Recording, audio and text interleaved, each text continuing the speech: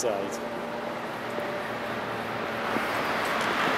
Apparently there used to be a ducking stool here somewhere. Now ducking stools are things which were used to, uh, people were tied to them if they'd been dishonest and then they were uh, put underwater for a certain amount of time, then they were pulled up again. This is a, punishment uh, for minor infractions, usually used for women rather than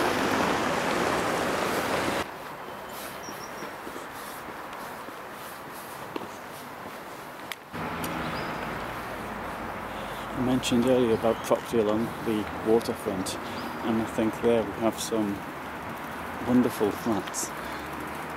And we should have gone for something like that. Of course, I don't know how much it would have cost if it had been within my reach or anything of that nature. In fact, it might need be flats, there may be houses, and which case uh, I wouldn't want such a big place. Apart from that, I couldn't afford such a big place.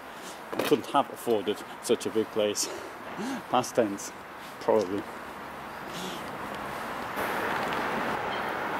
There we have a wonderful piece of early Victorian construction. In fact, it's even earlier than Victoria. They started building that in 1836. It took them three years to complete it, and look at good condition it's in today. That was a textile mill, but it was built on the site of a former monastery which was set up sometime in the 13th century.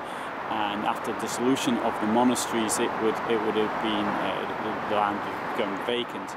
Uh, this mill was put here, uh, obviously the location because of the water nearby, but also it was a jobs creation scheme a very early idea of jobs creation. It was put up because of the crisis in the textile trade, which which had developed, and it was a, an effort to find employment, and it, it worked very very well as uh, for a number of years. Uh, the just before the First World War, it was bought or leased, I should say, by a company which uh, manufactured, well, it was a chocolate manufacturer, but they had their packaging was actually produced there, and the crackers were also produced in that building. Uh, after the First World War, it was used as a government training centre for, for people who had returned uh, wounded, injured, maimed. And uh, shortly after that, and, and until 2006, it was a uh, it was a publishing company owned it. This is the publishing company still owns it, I, I believe, but they now use it for their head office and their training department.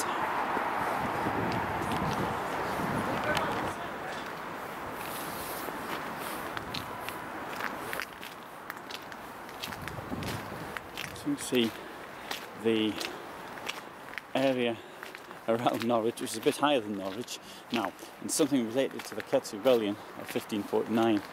I saw that referred to as a mountain. Well, mountain isn't really. Uh, Norwich is approximately 40 metres uh, above sea level. Uh, East Anglia is noted for being flat. It's not particularly high anywhere. And supposing, maybe by East Anglia standards, it is indeed a mountain.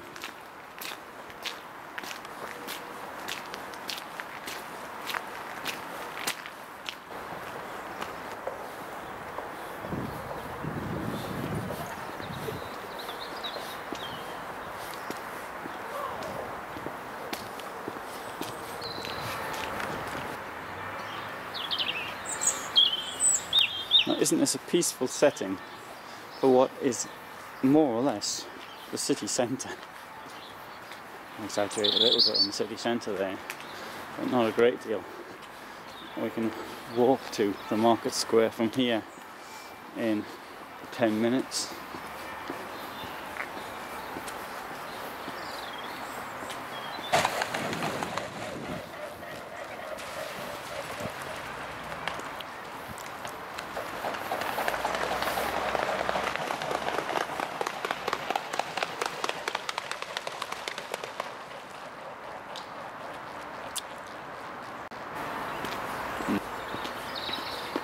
up ahead, out in front of me, is the Cow Tower.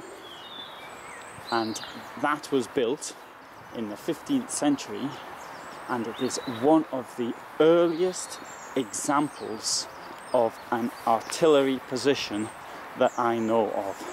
It's built to be able to withstand the artillery of the time and also to actually house artillery.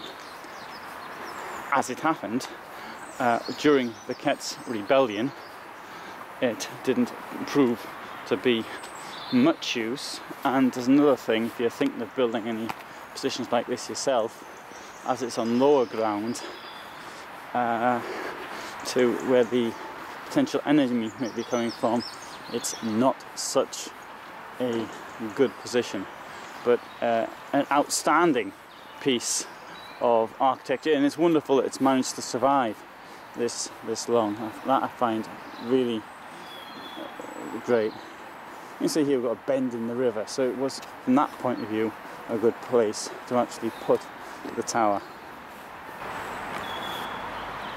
So there we have another view of the cow tower and you can see these slits which were used for bows and arrows, crossbows so they still had the two technologies there, the, the new gunpowder but they were still with the, the bows and arrows which in fact didn't go out of use for much much later and the crossbow was still in existence for a great deal of time.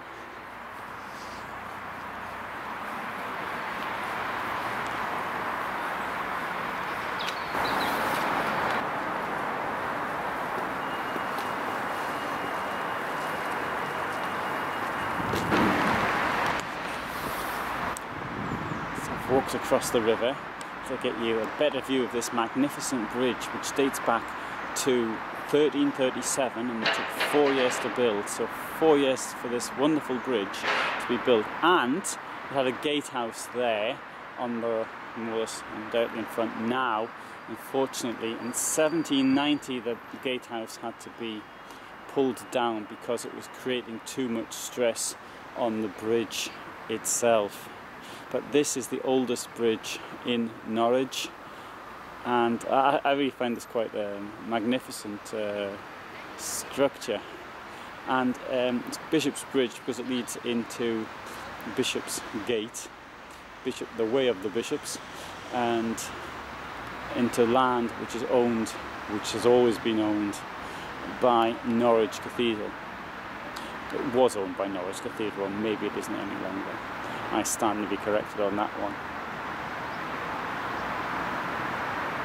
So let's go over the bridge now. Close to the bridge we have this plaque which I'm sure many haven't seen before including myself, I've just noticed it now and it's a memorial to somebody who was burnt on the 19th of August 1531. His name was Thomas Bilney and he was burnt for spreading the gospel of free salvation by faith, which means he was a Protestant. And we also have a list of people who were burnt in 1557 1558 in the reign of Mary Tudor. Many people were burnt, I think there came several hundred. And we, most famous, of course, are those burnings, which, such as uh, uh, Thomas Cranmer, which took place in Oxford. But there were people were burnt all over the place uh, for being Protestants. I need to point out as well that religious persecution uh, is believed very high in the reign of Mary, but in, in Elizabeth's times it wasn't all that much better. But that's a subject for another occasion. I'll come back to that in another film. I'd like to point out though, in the case of Mr. Bilney, who was burnt in 1531, now bear in mind, only a couple of years later, Henry VIII declared himself head of the church. And um, in those circumstances it's highly unlikely he would have been burnt.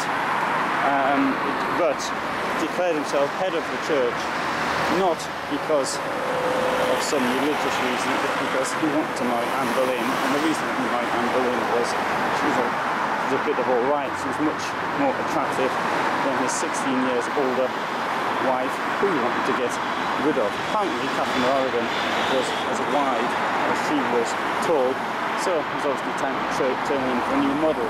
So any nonsense about him wanting a son and all the rest of it, that's utter drivel. Uh, it's not the reason for the wave of perse- religious persecution which happened then. Of course, uh, Mr. Bilney was down there, that wouldn't have uh, made much difference one way or the other. Now, I'm standing on the spot where the gatehouse used to be, and this bridge is a sign, site of fighting during Kett's Rebellion of 1549, and the rebels who had quite reasonable demands relating to uh, lands not being enclosed by wealthy landowners. Very reasonable. In fact, they weren't the- demands, they were requests. If you read them, you see the requests. They came over this bridge, uh, captured Norwich, was fighting in the city centre. They defeated the royalist armies. Eventually, the uh, forces of Edward VI, who was very young at the time, uh, so it's not really his fault. Um, they defeated the rebels using largely using mercenaries from other countries. Robert Kett was a great British hero in my opinion. He was hanged from Norwich Castle and his brother was hanged at Wymondham